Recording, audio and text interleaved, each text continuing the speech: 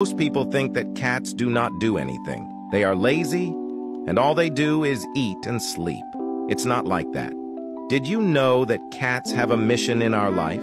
All cats have the power to daily remove accumulated negative energy in our body. As soon as we sleep, they absorb the energy. There is more than one person in the family and only one cat. He can accumulate an excessive amount of negativity by absorbing energy from so many people. When they sleep, the cat's body releases the negativity that took away from us. Cats also protect their humans during the night so that no spirits enter our house while we sleep.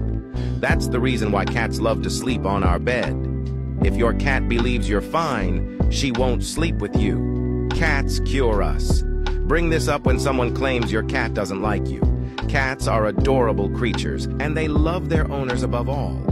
But they have a different way of loving. Follow for more cat videos.